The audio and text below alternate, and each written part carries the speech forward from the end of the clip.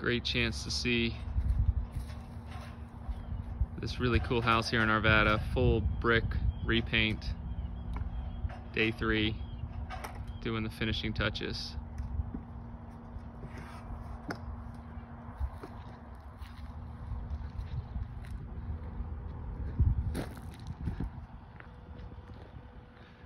Just a real spectacular transformation.